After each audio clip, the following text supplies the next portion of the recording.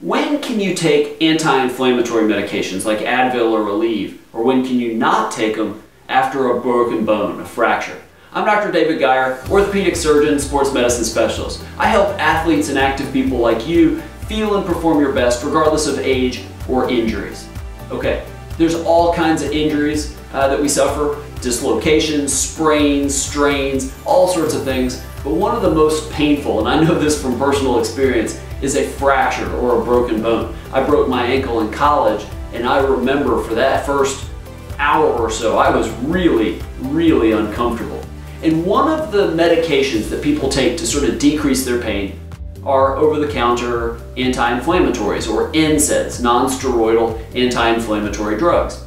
There's Advil, there's Aleve, you know, there's different brand names, Motrin and ibuprofen, all these different types of uh, medicines that are over the counter and you just take however many uh, that the bottle says and hopefully that decreases pain and decreases swelling. Now, in this video, I want to talk specifically about broken bones or fractures, but you could make the case that this applies to a lot of injuries. There is some concern that orthopedic surgeons have about these types of medications. Advil, Aleve, you know, those type of anti-inflammatory medications. Yes, they help decrease pain, they help decrease swelling and inflammation. But the problem with that is we need that inflammatory reaction to help create new bone. That's sort of the process of fracture healing.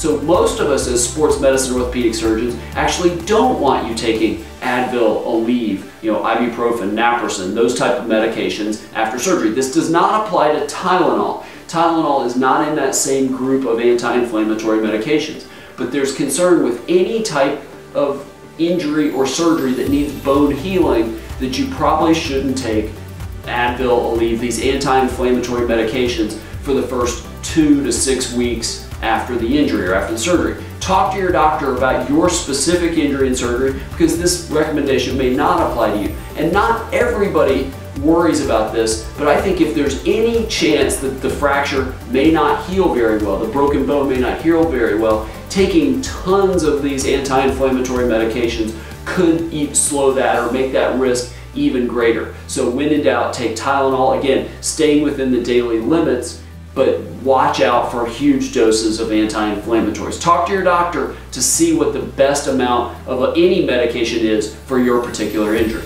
If you have questions about that, leave that in the, the comments below this video. Click the video below for much more helpful information. Make sure to subscribe for tons of helpful information on health, wellness, injuries, that kind of thing. And I look forward to seeing you right here next time.